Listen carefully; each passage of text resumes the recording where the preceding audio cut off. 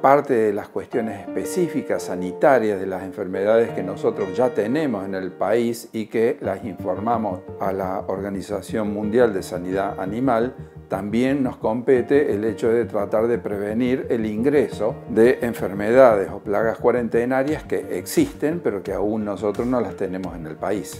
La principal amenaza como plaga cuarentenaria que no tenemos en nuestro país es el pequeño escarabajo de las colmenas, una plaga que nosotros nos autodeclaramos libre. La tenemos prácticamente en los países de frontera, en Bolivia, en Paraguay y en Brasil.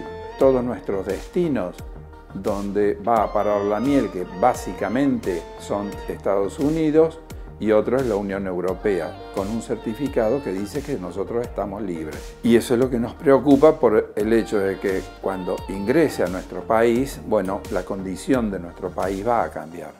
Sabemos que los enjambres van de un lado para el otro. Esta es la parte incontrolable, ¿sí? O sea, no podemos evitar que el movimiento de enjambres vayan y venga. Ahora, sí sabemos también que se mueve por los productos apícolas, ¿sí?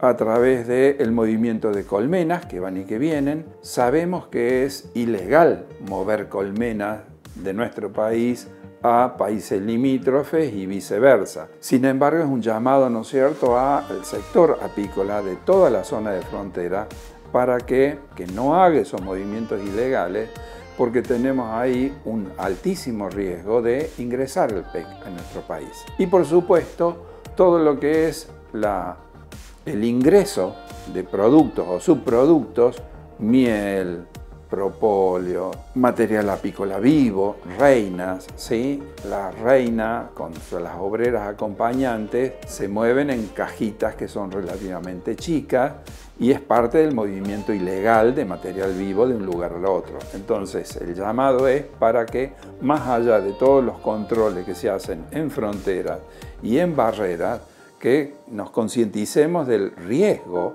de cometer estas prácticas ilegales. Esta plaga tiene tanto peso de importancia que la incluimos dentro del grupo de las enfermedades de denuncia obligatoria e inmediata ante la sospecha, no la confirmación, la sospecha.